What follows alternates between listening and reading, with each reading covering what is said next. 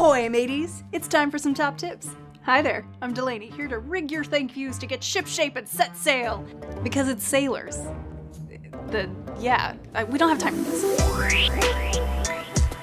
Today we're taking a look at Williams Mystic Seaport Museum. In our Museum Highlight series, we've looked at two behind the scenes of new exhibits. But there's not a new exhibit every day, and you still need to communicate with your supporters. So what do you say?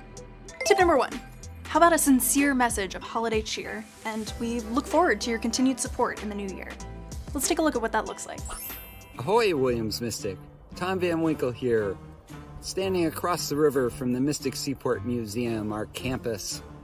And I'm just here at the end of 2020 to thank you for your ongoing support. Tip number two know your audience.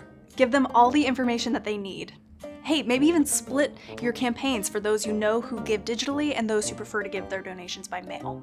Give them all the information they need to donate right then and there. Tip number three. Now I know we can't control the weather, but we loved the gloominess of the sky in this video that bleeds into the rising sun in the thank you background. Environmental branding on point.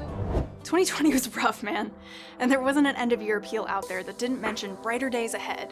But this end of year appeal visually represented brighter days ahead. How cool is that? Well, that's it. These are short. I'm Delaney. Shipping out.